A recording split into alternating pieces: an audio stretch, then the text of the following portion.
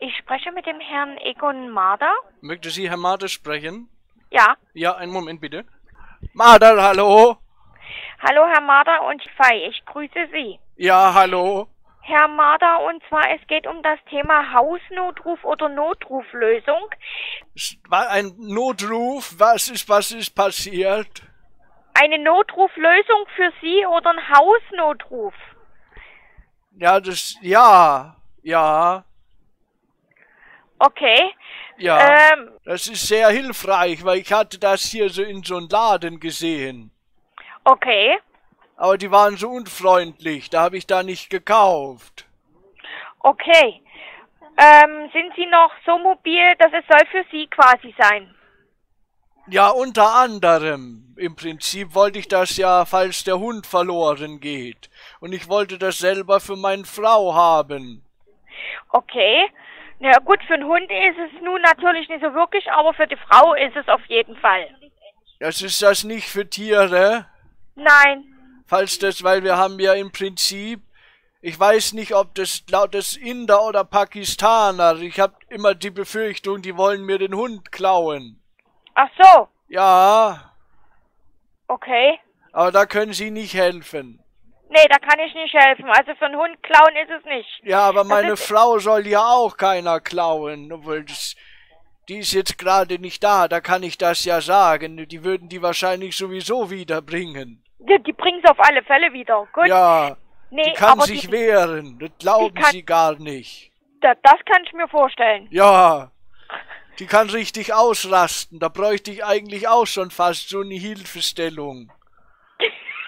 Aber ich Das bin, wenn, ja, ich bin ja kräftig, kann mich da ja wehren. naja, genau. Also wie gesagt, das ist eine Notruflösung. Wenn Ihnen jetzt was zu Hause passiert oder unterwegs passiert, ähm, wenn Sie stürzen oder irgendwas oder die Frau was passiert, dass sie einen Notrufknopf drücken kann und ihr dann natürlich auch geholfen wird. Ja, wer kommen Sie dann? Wir kommen nicht, nein. Ja, was bringt das denn dann? Ich würde es Ihnen gerne vorstellen. Ach so, Entschuldigung, ich wollte da ja nicht vorschnell wirken. Macht nicht, alles gut. Ja, Also sind Anbieter und Hersteller einer Notruflösung, mobil sowie auch für zu Hause. Also Sie können es A für unterwegs nutzen, wenn sie unterwegs ist, und natürlich auch für zu Hause als klassischen Hausnotruf. ja, ist das wie so von die Zeit, wo ich das die schöne Zeit, wo ich noch Auto fahren durfte, wie so eine Äh. Notrufsäule im Prinzip. So im Prinzip ja, Ja. aber nur halt kleiner und handlicher. Oh, ja, weil das, wenn das zu klein ist, da ist das ja auch wieder wegen den Hund gefährlich. Das, die fressen ja alles im Prinzip. Nö, das frisst ja nicht. Sehr gut. Ist das da entsprechend behandelt? Genau. Ja, das ist gut, weil ich habe da so im Prinzip mir so ein Halsband gekauft. Das immer, wenn der versucht, irgendwas zu machen, da kriegt er so einen Sprühstoß Zitronenduft auf die Nase. Oh, Das mögen die ja nicht haben. Nee, das will gar nicht. Dann muss ich das da ja nicht extra auch noch mal machen. Da freut sich auch der Hund drüber. Genau. Ja, Okay, bei unserer Notruflösung ist außerdem eine Notrufzentrale hinterlegt, die Sie jeden Tag 24 Stunden erreichen können. Das bedeutet, wenn Sie den Notrufknopf drückt, die Frau oder Sie, ja. werden Sie auch direkt mit der Notrufzentrale verbunden. Mit ihrer oder mit der von vom Bund im Prinzip. Allgemein vom Bund. Ja, Genau. Und auch Sie in Baden-Baden haben mit Sicherheit eine kurz ansässig. eine was bitte? Bei Ihnen in Baden-Baden ist mit Sicherheit auch eine ansässig. Wer ist da ansässig? Eine Notrufzentrale. Also wir haben hier so eine Feuerwehr. Sie haben ja mit Sicherheit auch ein Krankenhaus? Ja, das ist nur ein bisschen weiter weg von mir. Okay. Also, Ah. also das ist ja im Prinzip, wenn Sie möchten. Weil es ist ja, ich müsste da nach oben laufen. Das ist ja, ist ja mein quasi mein Nachbar, der arbeitet da ja. Weil das muss ja da vermerkt werden dann, dass ich sowas habe. Ähm, das würde ich Ihnen noch erklären, wie es funktioniert. Ja. Denn Sie brauchen da nirgends hinlaufen, sondern Sie finden bei uns in unseren Unterlagen definitiv einen Notfallplan, den Sie ausfüllen können und schicken das bitte an uns auch wieder zurück und wir geben das dann natürlich auch dementsprechend weiter. Ja, aber ich kann ja, wenn da ich, sag ich mal, meine Frau verloren geht, da kann ich Ihnen ja nicht erst einen Brief schreiben. Nee, aber wenn die Frau verloren geht, können Sie ja Notruf, kann, sie kann ja einen Notruf drücken. Ja, das kann sie ja nicht mehr, wenn sie verloren gegangen ist. Das muss ich, ich dann ja machen. Ja, das ist eine andere Geschichte. Ja, aber das ist auch möglich. Ja. Oder darf das, sag ich mal, nur meine Frau benutzen, wenn das, äh, wenn Nein. wir das kriegen? Nein. Ach so. Das ist einmal eine Station für zu Hause und einmal ein Mobilgerät, was er um, also mitnehmen kann. Für die Krankenstation? Nee, für zu Hause. Eine Feststation, eine Ladestation. Ah, wie für dieses, das hat, mein Enkel hat mir das mal geschenkt. Das ist wie so, äh, so fürs Telefon zum Draufstecken. Ja. Ja. Das habe ich Ja? schon mal gesehen. Ich hab das, ich trau mich das nur nicht aufzubauen. Bei uns müssen sie es aufbauen, sonst hat das Teil leider keinen Strom. Haben Sie da niemanden, der das ja quasi in Betrieb nehmen kann? Das können sie ganz alleine. Sie brauchen quasi nur eine Stromsteckdose, setzen das Mobilteil auf und alles andere macht's automatisch. Das ist ja, ich stehe ja mit dieser Technik schon seit ich denken kann auf Kriegsfuß. Ich bin ja, sagen wir, früher mal Schweinebauer gewesen. Da habe ich ja so einen ganzen Humbug gar nicht gebraucht. Da haben wir das alles von Hand gemacht. Wir haben da mal, wenn die Sau zur Welt gekommen ist, ne, dann haben wir die da an den Hinterbeinen gezogen, dass das schneller geht. Und wenn die dann in den Topf sollte, dann haben wir der den Kopf abgeschlagen. Da habe ich ja diese ganzen Elektrik-Sachen, die haben wir damals ja gar nicht gebraucht. Wenn Sie verstehen, das ist ja vom Zusammenhang immer sehr wichtig. Genau. Weil jetzt im Alter lerne ich das nicht mehr. Hallo? Ja, ich hab's verstanden, Herr Marder. Sie sind Hey, so leise plötzlich. Hey, ich bin noch da, alles gut. Jetzt kann ich Sie hören. Ist das Telefon bei Ihnen auch runtergefallen? Ja, mir ist gerade der Kopfhörer abgefallen, ja? Haben Sie Kopfhörer? Ja. Das ist ja hochmodern bei Ihnen. Das habe ich neulich im Fernsehen gesehen. Ja. Also nicht Sie persönlich, nicht, dass Sie was Falsches von mir denken, aber da, das, die haben da halt so eine Tour gemacht durch so den Hochtechnologiepark. Ja, Und da haben die Leute das auch gehabt. genau. Tut das nicht weh, wenn man das da aufhat ständig? Nein. Ist das gut gearbeitet? Das muss ja sein. Wie lange Ja, es. Sie das denn am Tag? Auch so vier bis fünf Stunden? Ja, da muss das ja schon entsprechend verarbeitet sein. Sonst Ist es kriegt auch. man ja Schmerzen. Genau, nee, ist alles in Ordnung. Also ist der Arbeitsschutz da bei Ihnen gewährleistet. Aber sicher. Sehr gut. Sonst brauchen Sie ja auch so Notruf. Ja, den hab ich auch schon, ja. Mitarbeitermisshandlung. Auf den Knopf drücken. Nein, Wofür haben Sie den denn? weil, äh, weil ich hab den, äh, wie gesagt, ich hab den für mich genutzt, weil wir viel unterwegs sind und ich viel auf der auf der Autobahn unterwegs bin und deswegen hab ich ihn. Ja, ist das äh, also dann auch so, ist jetzt auch wieder so ein Hochtechnologiebereich. Ist das dann für die Navigation verantwortlich? Nein. Nein. Hat nur damit was zu tun, wenn mir was passieren sollte und ich nicht immer ein Handy einstecken habe, dass ich da quasi auf den Knopf drücken kann. Ja, und muss man das dann wie so eine Halskette tragen? Sie können es auch in die Hosentasche stecken. Ja, das ist ja bei einem Unfall schwierig, dann da dran zu kommen. Ja, ich hab's immer, ich hab's immer mit in der Handtasche und wenn ich ins Auto steige, lege ich das vorne, vorne in so ein kleines Ablagefach rein und dann funktioniert das. Ist das, äh, was hat das für eine Reichweite denn? Nicht, wenn ich da jetzt da in... Das funktioniert über Funk. Das wird alles über Funk gesteuert. Das Ja. kommt über das Funknetz rein. Also da, wo man auch quasi, da brauche ich, ja muss ich die Ladestation von Telefon haben, dann beim Auto. Nein. Das Mobilgerät, das Mobilteil von uns ist eine kleine SIM-Karte drinne und die ist äh, Eine, was, was ist da drin? Eine kleine SIM-Karte, wie beim Handy, so eine kleine Karte und die ist für den Funk verantwortlich. Also doch Navigation, wenn Sie Karte Nein. sagen. Keine Navigation. Sie haben doch gerade gesagt, da ist eine. Karte mit bei.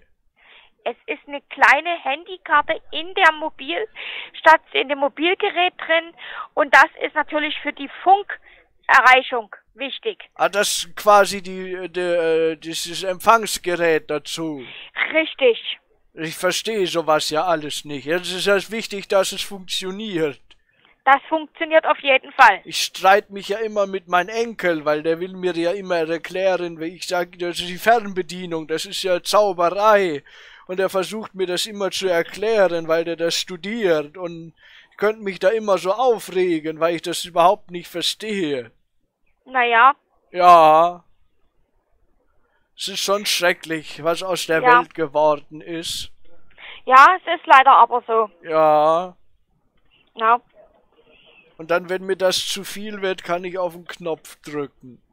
Genau. Dann ist alles aus. Dann ist alles aus. Ja. Ist das Bei der- der Fernbedienung ja. Nein, bei Ihren Knopf. Ne, wenn Ihnen dann, Sie können auf den Knopf drücken, wenn Sie Hilfe brauchen, wenn Sie jetzt, wenn Sie nicht gut geht oder wenn Sie gestürzt sind oder wie auch immer. Ja, und, und aber wer kommt denn dann? Dann kommt der Notarzt oder der Krankenwagen. Oder es kommt derjenige, den Sie dort eintragen. Sie können ja bis zu fünf Notfallkontakte hinterlegen. Kinder, Enkelsohn, Enkelkind etc. Das, das, da bringen Sie mich jetzt, ich bin ja so ein Tüftler immer, so logistisch. Also Ich kann da quasi, kann ich da die Nummer von meinem Haushälter eintragen, wenn das was zu tun gibt hier? Ja, wenn es Ihnen nur nicht gut geht. Wenn Sie jetzt umgefallen sind, ihm geht's, Ihnen geht's nicht gut, dafür ist der Notruf. Also ja, das ist ja im Prinzip ist das ja gleichgültig, weswegen ich den dann anrufe. Oder muss das da im Protokoll äh, geführt werden? Nee, also das ist eine Notruflösung, also wirklich für Ja. jemanden, der jetzt umgekippt ist, dem es jetzt schlecht geht oder der gerade gestürzt ist oder wie auch immer. Aber nicht, wenn ich ihn jetzt als Haushaltshilfe brauche. Ja, das ist ja im Prinzip der, sag mal, der Hintergrundgedanke, weil der muss ja in Fahrt kommen. Ja. Aber es ist nicht gedacht, dass Sie die Notrufzentrale kontaktieren, wenn jetzt der Haushälter jetzt einen Rasen mähen soll. Das Nein, nicht die Notrufzentrale. Sie haben doch gesagt, ich kann da die Telefonnummer hinterlegen. Ja, bei der Notrufzentrale können Sie Telefonnummern hinterlegen, im Fall eines Notfalles, dass derjenige auch kontaktiert wird. Das heißt, dann rufe ich quasi Notarzt an und er ruft dann meinen Haushälter an. Also, wenn Sie die Notrufzentrale, äh, wenn die Notrufzentrale rangeht, Ja. fragen die ja immer, was Ihnen passiert ist. Sind Sie gestürzt, ist Ihnen schlecht oder was ist passiert? Oder wenn der Notarzt kommen muss, dann wird natürlich derjenige, der ähm, in der äh, als Telefonnummer hinterlegt ist, auch kontaktiert.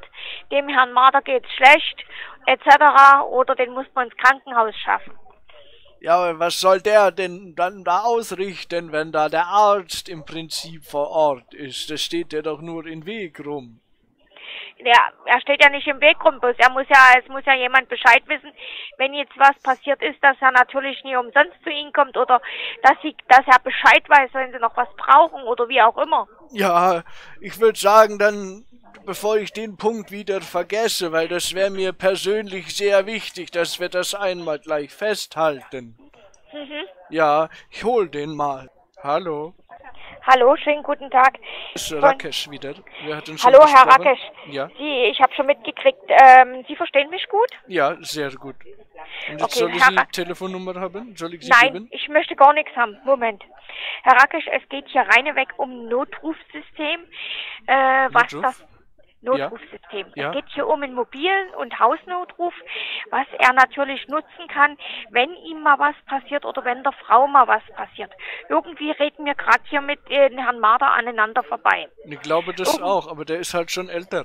Ja, ich weiß, deswegen, ich habe das schon gemerkt. Ja, Ist nicht so tragisch. Äh, es geht darum, Er hatte sich dafür interessiert und äh, wir, die Firma Libify, sind Anbieter und Hersteller einer mobilen Notruflösung. Das bedeutet, er hat ein Gerät zu Hause stehen, wie einen klassischen Hausnotruf. Ja. Und natürlich auch für unterwegs, wenn jetzt nochmal der Frau was passiert. Das hat einfach den Hintergrund, wenn er jetzt gestürzt ist Ja. oder er hat einen Schock gekriegt oder einen Shocking. Schlaganfall, Ja.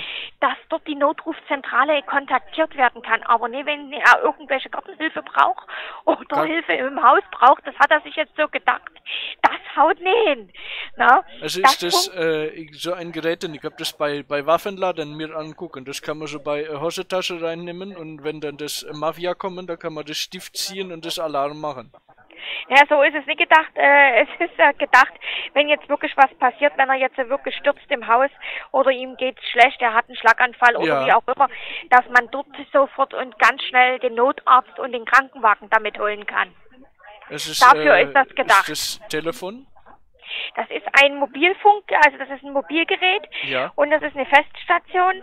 Ähm, das funktioniert zwar wie ein Telefon, hat aber quasi nur einen Knopf, einen SOS-Knopf, so. hat, hat auch eine kleine SIM-Karte drinne, Ja. wo man quasi äh, dann den, Not, äh, den Notruf auch auslösen kann und die Notrufzentrale ist natürlich auch dran. Ach so, und die dann äh, so GPS-Signal machen, wo der äh, jetzt Genau, wo der auch ge geortet werden kann. Jawohl, ist richtig. Genau so ist es. Oh, kann ich sowas für meine Frau haben, weil ich glaube, dass manchmal nicht dahin gehen, wo die mir sagen, dass das hingehen. Na, dann würde in der GPS-Ortung hat auch noch was zu tun, wenn jetzt ein Notfall vorliegt. So. Und sie drückt jetzt den Notrufknopf und keiner, äh, sie hat sich jetzt äh, im Wald verlaufen oder irgendwas, dass man die orten können. Das ist das Einzige, was da funktioniert. Ja. Aber nicht, dass sie jetzt gucken können, wo sie hingegangen ist. Das können wir nicht machen. Ach so, das ist schade, schade, weil das wäre eine gute Idee ich wünsche mir es manchmal auch. Oh, haben Sie gleich ein Problem? Nein. Sehr gut, weil das will man nicht haben. Das immer mit Kopf denken, oh mein Gott, und man nicht wissen. Ja, nö, das ist eigentlich so, habe ich das Thema nicht. Nö. Ja, das ist äh, das Herr Madel gerade wiedergekommen. Soll ich Sie den wiedergeben? Nee, brauchen Sie nicht. Was wollen wir jetzt machen? Ähm, ich habe jetzt die Möglichkeit, Ihnen mal Informationsmaterial rauszuschicken. Hallo junge Frau. Ja, Ja, ich bin jetzt, ich bin ja, ich bin ja zwar schon älter, aber ich bin sehr fleißig. Wir hatten das jetzt ja, Sie haben jetzt ja mit denen schon gesprochen und dann haben Sie ja gesagt wegen, äh, wegen den Notruf, richtig? ja. Ja, dass Sie das auch nochmal besprechen können. Der ist ja im Prinzip Brandmeister. Einen Moment bitte. Bagatov, guten Tag. Wie kann Ja, ich schön. helfen? Ja, schönen guten Tag. Ich glaube, ich muss erst mal helfen, weil ich grüße Sie. Guten Tag. Wo Ähm, brennt es?